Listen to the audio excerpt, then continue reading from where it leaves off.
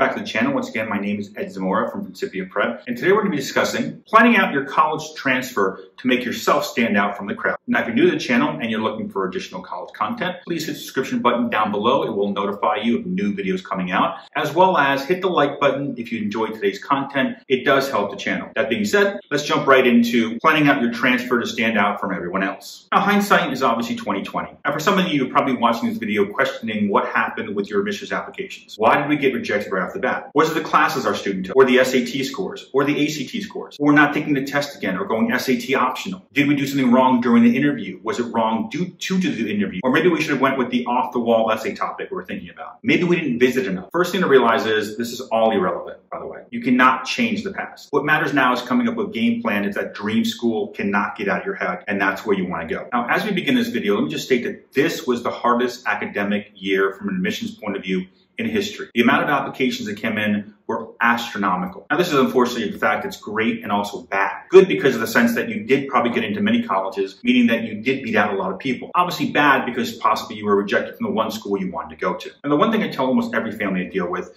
once they've gotten rejected is you can be upset, you can be disheveled, you can be mad, whatever you want to call it. You can go out running, you can scream, you know, have coffee and vent with your friend, whatever you need to get it out of your system essentially. But for me, I tell everyone the same thing. You have essentially 48 hours to do so. Then after the 48 hours is up, we need to come up with a game plan. Also, you have to realize, okay, they rejected you. A lot of students get rejected, so especially at the top end schools. At the top end schools, nine out of 10 students typically get rejected. So the reality is a lot of qualified students are not getting into top tier schools. All that being said, if you still can't get the school out of your mind, this is where you want to end up, this is where you want to go. Let's start talking about building that game plan. Now, the first thing you have to do is choose a secondary school. This school should be a place that obviously offers your major and or offers the same course load you would be taking at your dream school to make sure you don't lose any time.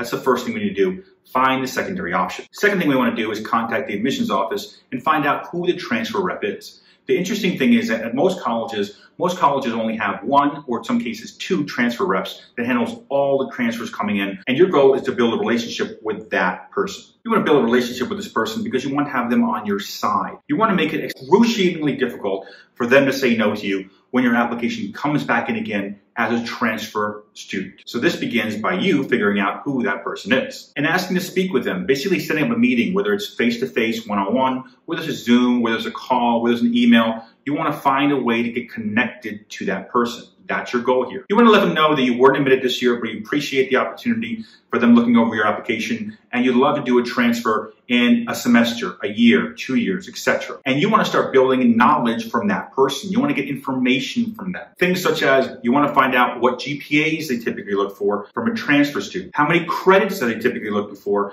before they highly consider a transfer student?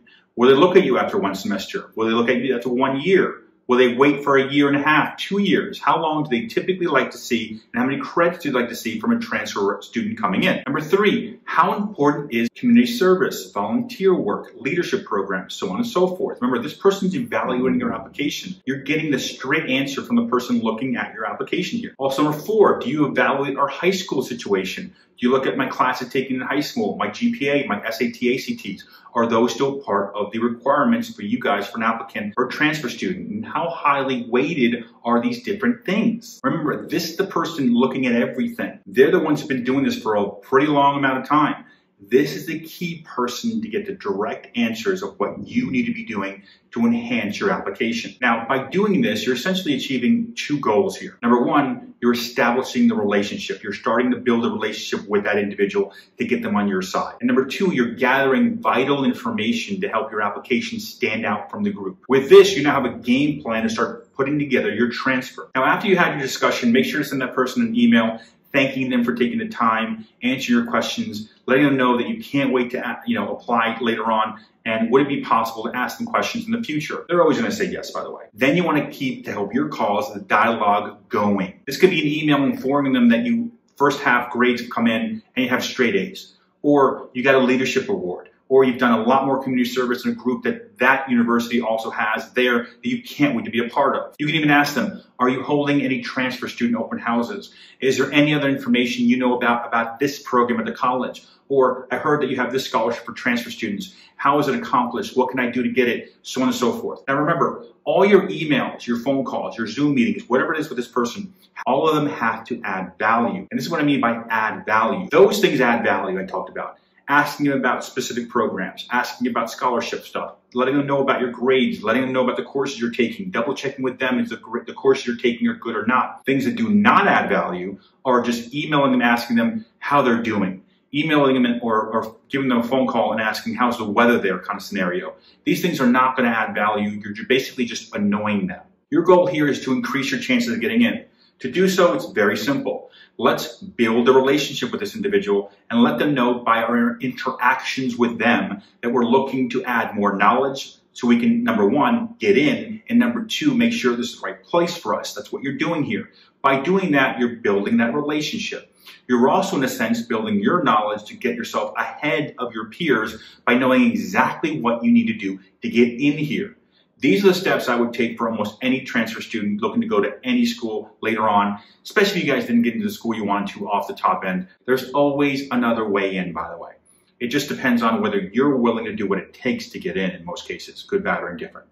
That being said, thank you for watching today's video. Once again, my name is Ed Zamora from Principia Prep. If you do like the video, please subscribe. We do provide new we do add new videos almost weekly now. I'm adding a lot more videos every week now, as well as if you're interested in our newsletter, on the screen is our email.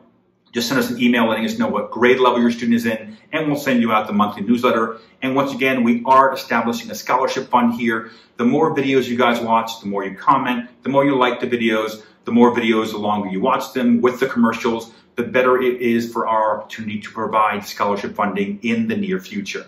That being said, thank you once again for watching. My name is Ed Zamora from Principia Prep.